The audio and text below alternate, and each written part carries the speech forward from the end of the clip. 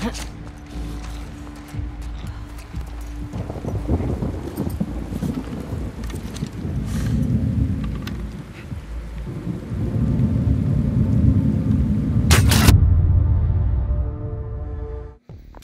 there.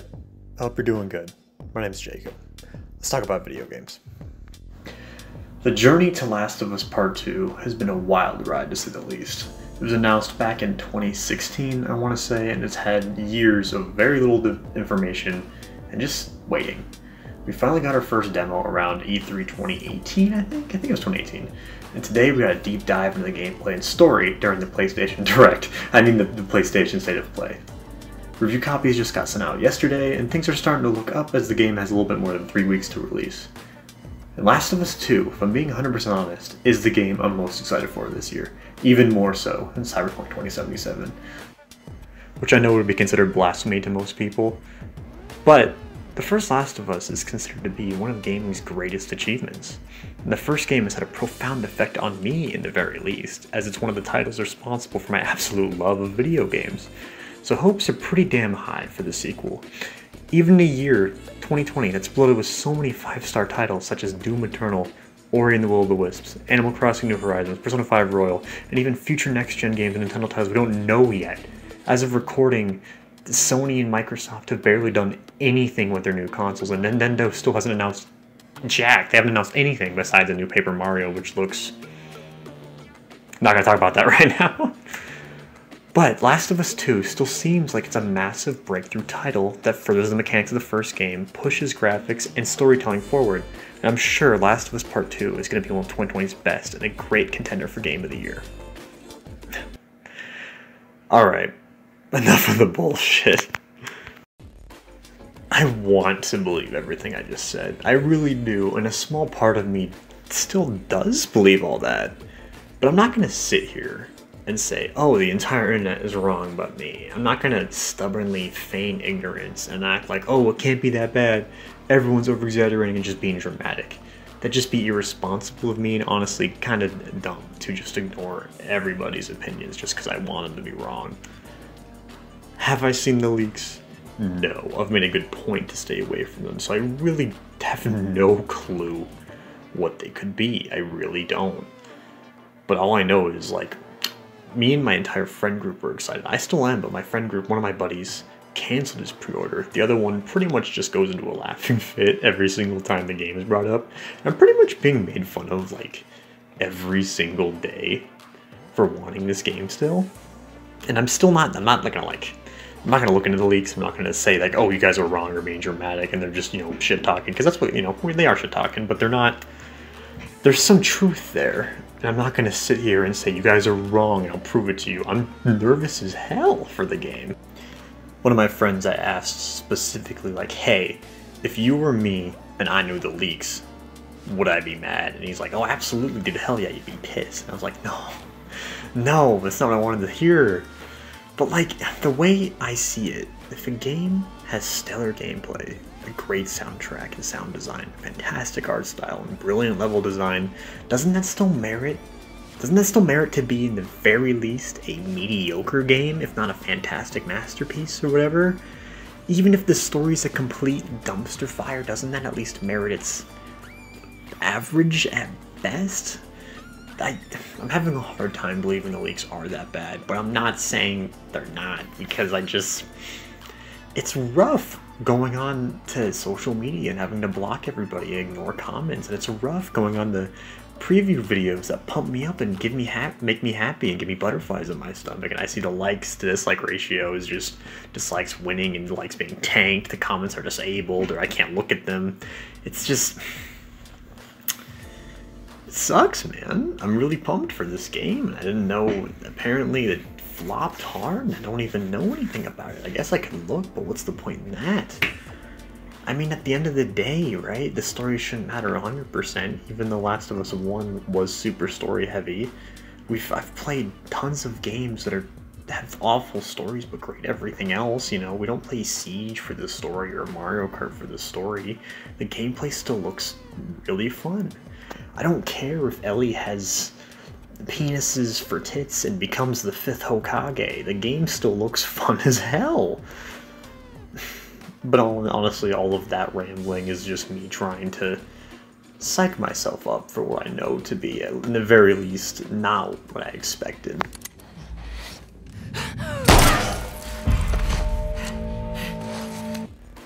Watching the new gameplay from the state of play, it honestly really does look like Dog has improved upon the formula of the first game and from their prior games.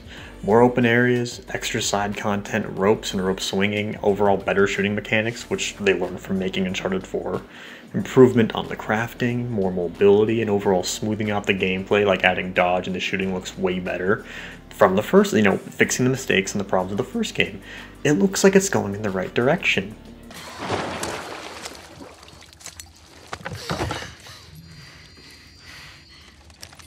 Make a fucking sound.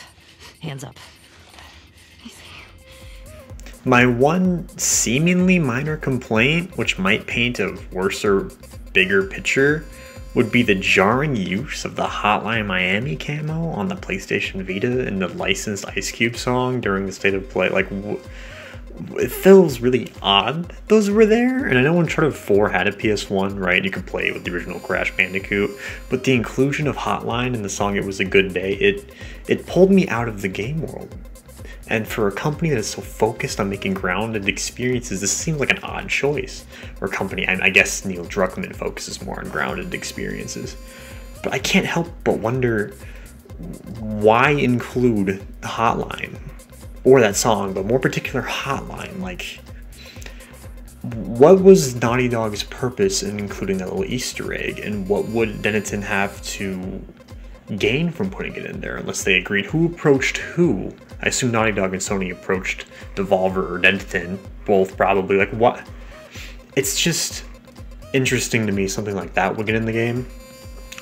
And then we see it and they show it off during a time when apparently everyone's talking about how awful the story is and how poor decision, you know, how poor choices led to a poorly written story. But yet, a lot of time was focused on finding that little Easter egg and putting it in the game and talking to the right people and putting it. It just, I don't know. Maybe it's a weird thing to get hung up on, but I feel like there's more to it there. That you, Nora?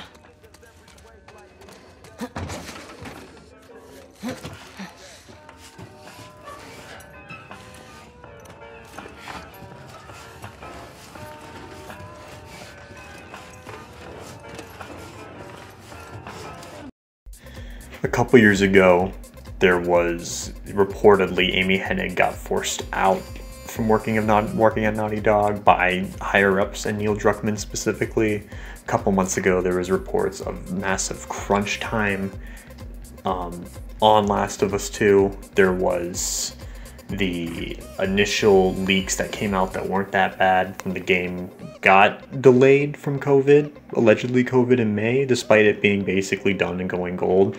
Then there's the major leaks that happened, and then you know the day after those major leaks happened, everybody saw them. All of a sudden, oh, the release date's June now. It's just, it seems like everything that could go wrong has gone wrong, and it seems like this has potentially been building for a while. And I feel like that there's this enough evidence, enough compelling of a case with the leaks. I still haven't seen the leaks, so I'm pretty much arguing for the wrong answer. That it's very obvious why the game turned out the way it did. And I'm saying that having having not seen anything yet, having not played it, having I'm still excited for it despite everything, I still want to play it and I'm still super hyped for it. And I'm constantly telling my friends, like, let's just wait till it comes out. Just wait till it comes out. Maybe it's not that bad. But I'm anticipating, I guess, to be disappointed. Maybe I'll be wrong. Maybe I'll love it. I'm hoping I'll love it. I know I like the gameplay at least because it looks, it does look phenomenal. So I guess, long story short, I am still excited for Last of Us 2. Do I think it's going to be the best game of the year? Do I think it's going to be my favorite game of the year? I want to, but not not not anymore. Which makes me sad because Last of Us 1 was such a masterfully crafted game, which I would recommend to really anybody, you know. But Last of Us 2, while previews are shaping up, it does look like it's also equally as masterfully made as the prior games they have Naughty Dog has done I can't just ignore all the dislikes and the flaming on Twitter and all the terrible, terrible business decisions Naughty Dog is making. I can't just feign and again, I can't just feign ignorance and act like nothing's happening and just pretend everything's gonna be good. But at the same time, I still am hopeful. Because there are hundreds of people that worked on the game. And I assume at some point, I know, you know, reading articles and reading into it now, I don't think everyone believes in it as much anymore, but at some point, everyone working on it did believe in it and wanted to be an amazing game. And despite all that, you know, allegations and all the questionable decisions, and despite the leaks, I do think Neil Druckmann wanted to make something truly remarkable. I'll still be picking up the game day one, and I'm still really hopeful for it. And I hope there's people out there who are still excited to play it as well, whether they know the leaks or not. I plan to do a follow-up video to this video after the game's out and after I finished it, so you can see my hope turn into just rage and despair and you can see me rant and yell about how awful it is. Or maybe you'll see me defend the game because I loved it and I think it's great and I think everyone misunderstands it. If that's the case, I guess you can dislike that video when it pops up. But we won't know until the game's out. I want games to continue to improve because I believe they're the highest form of art and entertainment. And I believe that Last of Us is a game that supports that statement, and I believe it pushed the video game medium forward for the better. And I guess we're just gonna have to wait and see to where the sequel will land on that spectrum. If it helps games move forward, if it's just mediocre, if it really is just a burning dumpster fire, like everyone seems to say it is. Thank you guys for watching. This video was pretty spur of the moment and not what I really planned as my first video. I didn't really make a script or anything, so I apologize if I rambled and repeated some statements. I just wanted to talk about Last of Us, since it's a pretty hot topic right now, given the state of play was today, and the leaks and discussion of the leaks have been going on for the last week or two, or I guess like month now, I think. And well, I don't like seeing all the hate online about something I love. I want to speak, try to speak positively, even if I know it might be in vain. I don't know. Maybe I'm just letting my friends bagging on the game and bagging on me for being excited. Maybe I'm letting them get to me. I don't know. But they haven't spoiled anything yet, so I guess they're alright. I guess they're okay, guys. Thank you guys. And stay safe and take care out there.